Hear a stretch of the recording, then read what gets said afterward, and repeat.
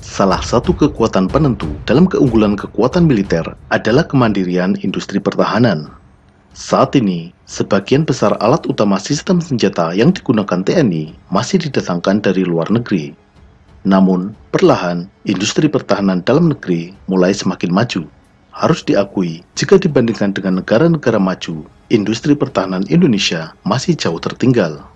Namun, untuk kawasan regional, Indonesia bisa berbangga Industri pertahanan di Indonesia merupakan yang paling maju di kawasan Asia Tenggara. Selain didukung oleh perusahaan BUMN yang dimiliki negara, industri pertahanan Indonesia juga banyak didukung oleh perusahaan-perusahaan swasta nasional. Dalam video ini, kita akan mengulas industri-industri pertahanan dalam negeri Indonesia.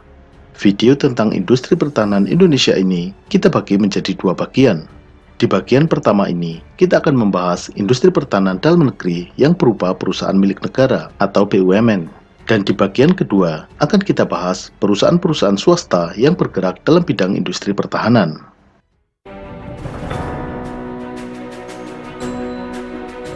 Kita mulai dari PT Pindad. PT Pindad merupakan pemasok utama persenjataan TNI, utamanya Angkatan Darat. Produk dari PT Pindad menjadi senjata standar bagi TNI, mulai dari senjata api, amunisi, senjata berat, hingga kendaraan tempur. PT Pindad memiliki sejarah panjang yang dimulai pada masa Hindia Belanda. Pada tahun 1808, Gubernur Jenderal Dendels memerintahkan pendirian pusat pemeliharaan dan perbaikan persenjataan yang disebut konstruksi Winkel di Surabaya dan pabrik amunisi yang disebut proyektil fabrik atau PF. Pada tahun 1923, workshop tersebut dipindahkan ke Bandung dan diberi nama Artillery Inrichtingen atau AI. Tahun 1950, bersamaan dengan penyerahan kedaulatan Indonesia oleh Belanda, pabrik senjata tersebut diserahkan ke Indonesia dan berganti nama menjadi Pabrik Senjata dan Mesiu, disingkat PSM.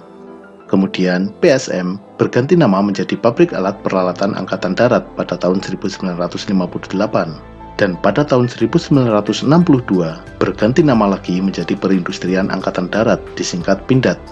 Pada tahun 1983, Perindustrian Angkatan Darat beralih menjadi perusahaan BUMN dengan nama PT Pindad. Nama Pindad saat ini bukan lagi singkatan Perindustrian Angkatan Darat, melainkan menjadi sebuah nama yang utuh. Untuk mempercepat perkembangan dan alih teknologi, PT Pindad bekerja sama dengan berbagai perusahaan dari luar negeri, di antaranya dengan Fabrik Nasional atau FN dari Belgia, Renault dari Perancis, Singapore Technology Kinetics dari Singapura, FNSS Turki, dan lain-lain. Produk dari PT Pindad di antaranya adalah senapan serbu SS1. Senapan ini dibuat berdasarkan lisensi dari senapan serbu FNC buatan FN Herstal dari Belgia. Senjata SS1 ini kemudian dikembangkan dengan reverse engineering menjadi SS2 SS1 dan SS2 sudah digunakan oleh TNI secara luas. PT Pindad juga sudah mengembangkan senapan serbu SS3 dan SS4.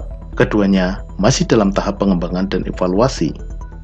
Selain senapan serbu, PT Pindad juga memproduksi pistol, mulai dari Pindad P1, P2, pistol G2, dan yang terbaru Mak 4, juga submachine gun PM3. Senjata penembak runduk terdiri dari SPR-1, SPR-2, SPR-3, dan SPR-4. Pindad juga memproduksi senapan mesin ringan dan senapan mesin sedang dengan lisensi dari FN Herstal. Juga senapan mesin Metzenseiter lisensi dari Finlandia. Kendaraan tempur buatan Pindad adalah EPC Anoa, EFV Badak, AEV Cobra, kendaraan taktis Komodo, dan MRP Sanca. Kendaraan tempur terbaru adalah tank medium Harimau Hitam Tank ini dibuat bekerja sama dengan perusahaan dari Turki yaitu FNSS. PT PAL adalah industri galangan kapal dalam negeri yang berlokasi di Surabaya. Sejarah PT PAL bermula dari didirikannya galangan kapal pada tahun 1939 dengan nama Marine Establishment di Dermaga Ujung, Surabaya.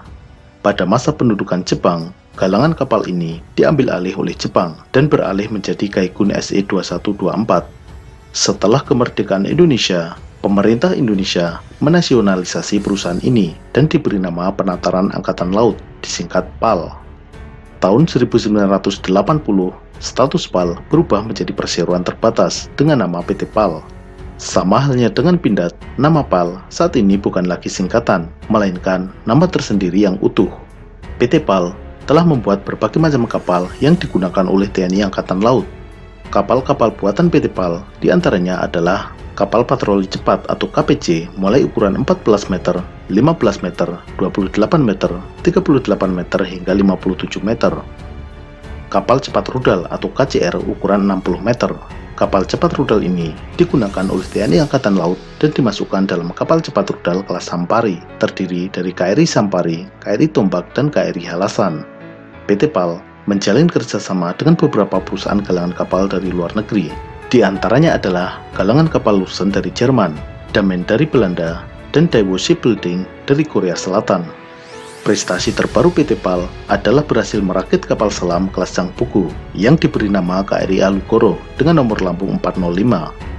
Pembuatan kapal selam ini bekerja sama dengan perusahaan Korea Selatan, Daewoo Shipbuilding and Marine Engineering.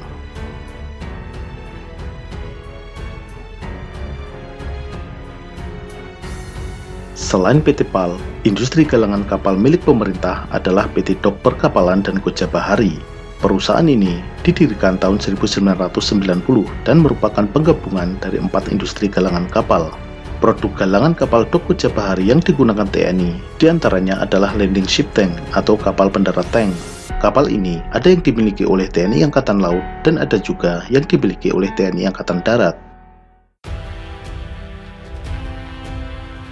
PT Dirgantara Indonesia atau disingkat PTDI adalah industri pesawat terbang satu-satunya di Indonesia, bahkan di Asia Tenggara. PT Dirgantara Indonesia telah memproduksi berbagai pesawat terbang baik untuk sipil maupun militer.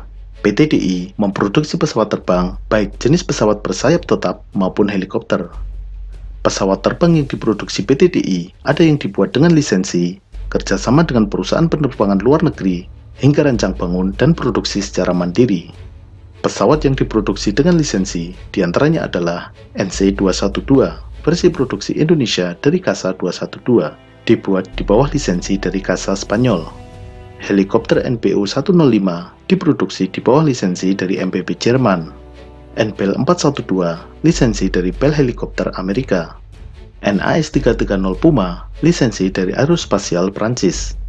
Selain itu, PT Dirgantara Indonesia juga melakukan perakitan beberapa helikopter terbaru pesanan TNI, semisal AS550 Fennec, AS556 Panther, dan EC725 Caracal.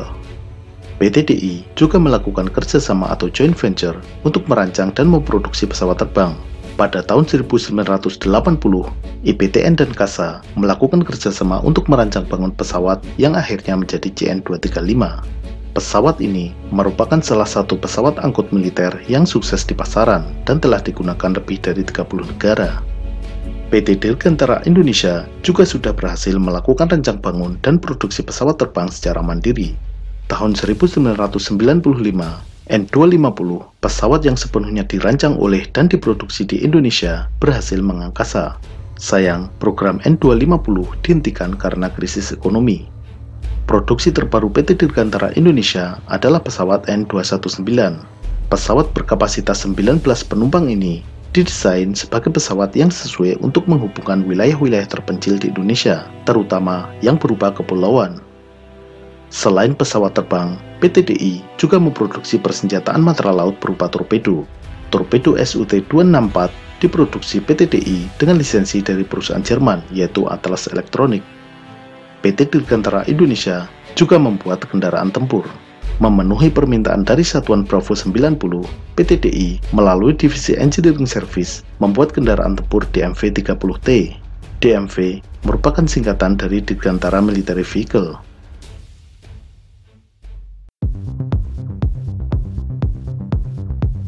PT Land Industri adalah perusahaan BUMN yang bergerak dalam bidang elektronika. Secara PT Land Industri dimulai tahun 1965 dengan didirikannya Lembaga Elektronika Nasional, disingkat LAN. Pada tahun 1991, LAN bertransformasi menjadi perseroan dengan nama PT LAN Industri. Lagi-lagi, nama LAN bukan lagi singkatan Lembaga Elektronika Nasional. PT LAN Industri berlokasi di Bandung, Jawa Barat. PT LAN Industri telah membangun infrastruktur berbasis elektronika di Indonesia, di antaranya adalah jaringan sinyal kereta api dan jaringan infrastruktur telekomunikasi di Indonesia. Dalam bidang pertahanan, PT Land Industri membuat perangkat komunikasi radio untuk TNI, membangun combat management system pada kapal perang TNI, dan mengembangkan radar pertahanan.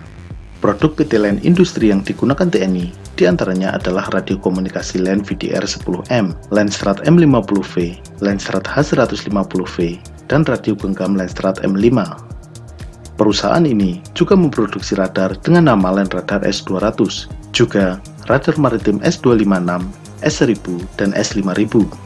PT Land Industry juga membangun Combat Management System atau sistem manajemen tempur untuk kapal perang TNI. Sistem ini dinamakan Mandala Combat Management System. CMS Mandala telah digunakan di beberapa kapal perang TNI, di antaranya KRI Yosudarso, KRI Ahmad Yani, dan beberapa KRI kelas Mandau. Hingga saat ini, sudah ada 8 KRI yang menggunakan CMS Mandala.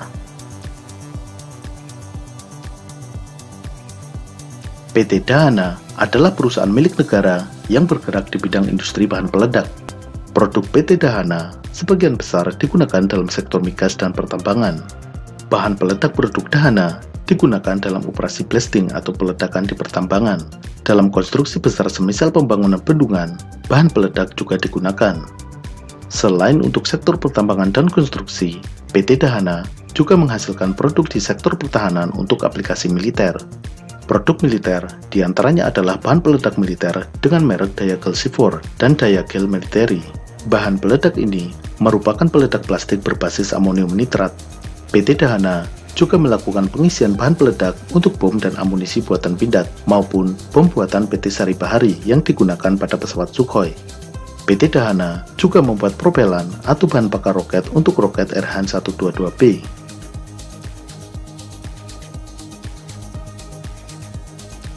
PT Inti adalah perusahaan milik negara atau BUMN yang bergerak di bidang telekomunikasi. Perusahaan yang didirikan tahun 1974 ini sejak lama menjadi pemasok peralatan untuk telekomunikasi di Indonesia, utamanya untuk PT Telkom. Selain bergerak di bidang telekomunikasi sipil, PT Inti kini juga merambah sektor pertahanan.